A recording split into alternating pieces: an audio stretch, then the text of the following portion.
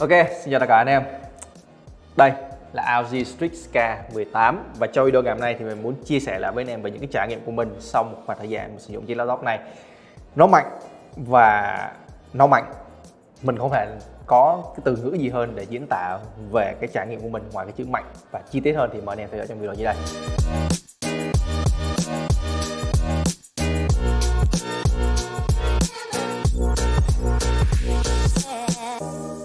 Mình đã có một cái video uh, chia sẻ về thiết kế bên ngoài cũng như là những cái điểm đáng chú ý của phiên bản Street Ska năm nay so với lại Street Ska của năm ngoái. Thì anh em có thể coi lại cái video đó link mình sẽ để dưới phần mô tả của video. Còn trong video ngày hôm nay thì muốn tập trung hơn vào cái việc là cái chiếc máy này nó sẽ thể hiện hiệu năng ra sao và cái cấu hình mới này cái hệ thống tản nhiệt mới này nó sẽ làm việc ra sao nó có hiệu quả hay không. Sẽ chia sẻ cho anh với em một chút về cấu hình thì chúng ta sẽ có vi xử lý là Core i9 13980HX và card đồ họa RTX 4090 RAM của chiếc máy này là 64GB và bộ nhớ SSD của nó là 2TB đây là cái cấu hình mạnh mẽ nhất ở trên một chiếc laptop gaming của năm 2023 mà anh em có thể mua được. Và cái mức giá của chiếc máy này sẽ được bán chính hãng tại Việt Nam. Cho cái cấu hình này là 125 triệu đồng. Cả CPU, GPU là cái sự nâng cấp của phiên bản năm ngoái Đó là trên chiếc ROG Strix K 17 SE Và nó mạnh hơn nhưng cái mức công suất tiêu thụ điện của nó thì nó sẽ chỉ tương đương. Tức là chúng ta có Core i9 thế hệ 13 cũng như là RTX 40 series. Năm nay nó mạnh hơn so với lại Core i thế hệ 12 cũng như là RTX 30 series của năm ngoái. Nhưng cái công suất tiêu thụ điện của nó vẫn là 175W cho CPU và 175W cho GPU mình sẽ đi nhanh về những cái bài benchmark của CPU anh em có thể thấy ở trên màn hình chúng ta sẽ có những cái điểm số rất là cao so với lại Core i9 12900 của thế hệ năm ngoái. Và nó cũng là HX series luôn cũng như là những cái uh, xung nhịp của CPU anh em có thể thấy rằng là cái xung đơn nhân của nó ở trên cái Core i9 13980HX này nó có thể boost lên từ 5.0 đến 5.3 GB rất là thoải mái và nó không có bị giới hạn gì cả. Mình lưu ý rằng là à, mình test cái chiếc máy này ở cái chế độ manual ở trong cái phần mềm Armory tức là mình sẽ để cho CPU cũng như là để cho GPU nó được hoạt động tối đa công suất và mình sẽ không giới hạn bất cứ một cái điểm gì trên cái chiếc máy này hết. Điều đó cũng thể hiện rằng là để mình đánh giá xem là cái hệ thống tản nhiệt của cái chiếc máy này thì nó sẽ hoạt động như thế nào. Thì qua những cái bài benchmark CPU điểm số của nó rất cao và nó thể hiện rằng là con CPU này là CPU rất là mạnh mẽ. Ngoài xung nhịp ra thì công suất tiêu thụ điện của nó nó cũng thể đẩy lên đến là hơn 160W và nó sẽ ổn định ở cái khoảng đâu đó là 70 cho đến là 85W và một điểm mình chú ý đó là khi mà mình thực hiện những cái công cụ benchmark CPU á, thì cái nhiệt độ của nó nó lên rất là cao lên đến là hơn 90 độ. Nhưng khi mình bước vào những cái uh, bài test thực tế hơn ví dụ như là chơi game hay là mình thực hiện những bài test về handbrake hay là blender thì nó là ổn định hơn tức là nó sẽ không bao giờ vượt quá cái con số là 90 độ hết. Và đó là CPU còn với GPU thì mình cũng đã test qua những cái bài test như bài Max nè và Fermax nè. Và trong bài Max mình test rất là nhiều những cái công cụ khác nhau như Ray Tracing, DLSS và tất cả những cái điểm số của nó cho ra đều làm mình rất là ấn tượng và nó mạnh mẽ hơn so với lại RTX 3080 Ti ở trên cái chiếc LG Strix-K 17 SE của năm ngoái. Nhìn chung là qua những cái bài test của mình thì có thể kết luận một điều rằng là nó mạnh hơn thế hệ trước nhưng nó tiêu thụ một cái công suất điện là tương đương. À, mình benchmark rất là nhiều thì anh em có thể theo dõi trong cái bài viết của mình bởi vì ở đây mình sẽ chỉ đưa ra những cái con số cụ thể và những cái con số mà nổi bật nhất về cái hiệu năng của chiếc máy này mà thôi. Còn những cái bài test chi tiết hơn từng cái góc cạnh về từng cái à, công cụ thì anh em có thể theo dõi trong bài viết của mình nha và nhiệt độ của GPU thì mình cũng có đo bằng Fermat thì nó sẽ chỉ lăn quanh khoảng từ 75 cho đến là 79 độ C mà thôi. Mặc dù mình đã stress test bằng Fermat nha, trong một thời gian khá là dài, đó là hơn 30 phút, nhưng mà cái nhiệt độ nó thì nó sẽ luôn ổn định như vậy. Và đó là những cái công cụ benchmark, còn thực tế cái việc chơi game thì nó sẽ ra sao.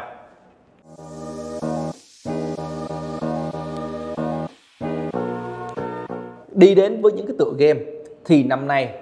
Card đồ họa RTX 40 series nó đem lại cho người dùng chúng ta một cái tính năng rất là quan trọng đó là DLSS 3 và frame generation.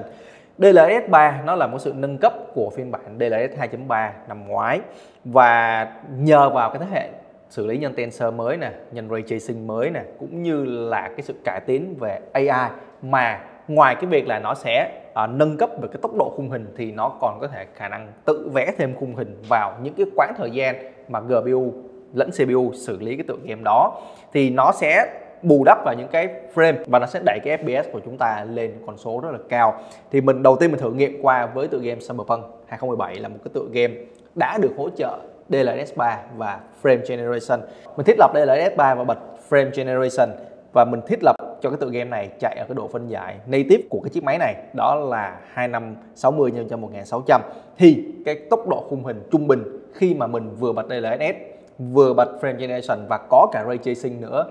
thì FPS trung bình nó là 136 FPS còn khi mà mình tắt cái frame generation đi, mình vẫn bật DLSS nhưng mà mình tắt cái frame generation đi, vẫn giữ lại ray tracing và vẫn giữ lại những cái thiết lập khác, thì nó cho con số FPS trung bình là khoảng 81 FPS thì anh em có thể thấy được về cái sự hiệu quả của cái tính năng frame generation. Và thực tế rằng là nó mạnh mẽ hơn so với lại RTX 3080 Ti mà mình đã từng trải nghiệm trên chiếc LG Strix-K 17SE của năm ngoái. Và rõ ràng là cái tính năng frame generation này nó thực sự rất là hiệu quả. Thì ngoài cái tựa game Cyberpunk 2077 này ra thì mình cũng thử một vài cái tựa game khác nó hỗ trợ DLSS 3 và frame generation, đó là tựa game Spider-Man. Thì cái hiệu năng, tức là cái FPS chênh lệch giữa cái việc mà mình bật frame generation và không bật frame generation nó rất là khác biệt. Cái con số chênh lệch FPS nó có thể lên đến là hơn 40 FPS lận thì em có thể thấy ở trên màn hình. Thì rõ ràng là cái thế hệ card đồ họa RTX 40 series mới năm nay của Nvidia thực sự nó đem lại một cái hiệu năng chơi game là rất là tuyệt vời.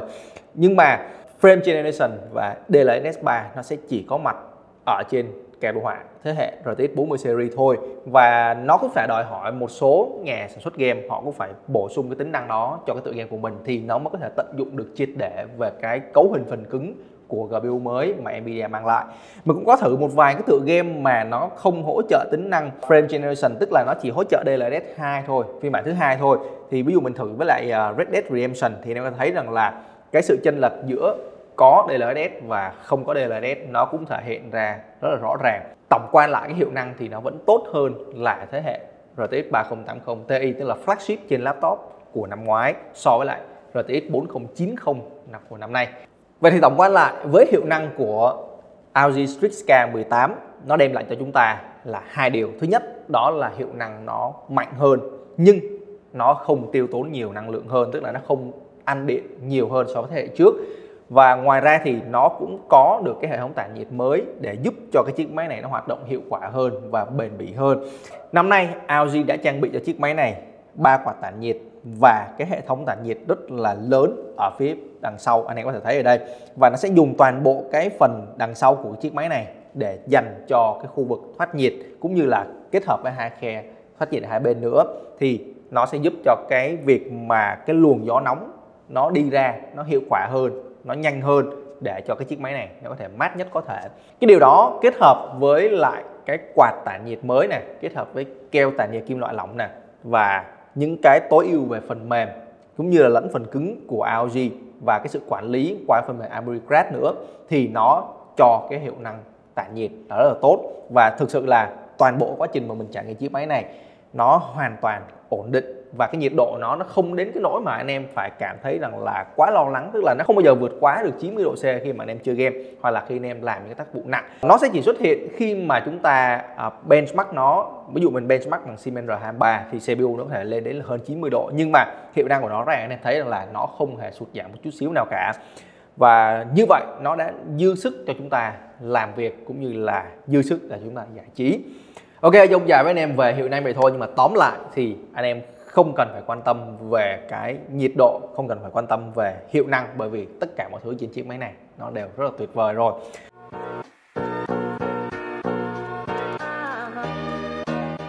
Tiếp theo về một sự thay đổi lớn nữa ở trên LG Strix K năm nay đó chính là về màn hình thì màn hình là một sự nâng cấp rất là lớn khi năm nay chúng ta đã có cái tiêu chuẩn màn hình là Nebula cũng như là cái kích thước màn hình lên đến là 18 inch. Thì trong cái khoảng thời gian Tết vừa rồi mình trải nghiệm chiếc máy này á, thì thực sự cái màn hình 18 inch nó đem lại cho mình cái trải nghiệm rất là tuyệt vời về cái không gian hiển thị cũng như là về cái màu sắc, cái chất lượng hiển thị của cái tấm nền mà LG mang lại. Ok, như mình đã chia sẻ trong video trước đây, cái việc mà LG đem cái tiêu chuẩn Nebula lên trên những cái thiết bị của họ thì nó sẽ giúp người dùng chúng ta không cần phải suy nghĩ nhiều về cái việc là cái chiếc máy này nó có độ bao phủ màu là bao nhiêu, nó có độ sáng là bao nhiêu. Chỉ cần nó có tiêu chuẩn là Nebula hoặc là Nebula HDR thì chúng ta đã có gần như tất cả cái tiêu chuẩn về hiển thị ở trên laptop hiện tại đều được tích hợp trên đây. Thì qua cái đo đạc của mình thì cái chiếc máy này nó cho chất lượng hiển thị rất là tốt ở tất cả những cái gam màu cũng như là độ tương phản cũng như là độ sáng và delta E của nó đều rất là tuyệt vời. Đó là cái lợi thế cũng như là đó là cái uh, thế mạnh của cái tấm nền Nebula mà LG mang lại.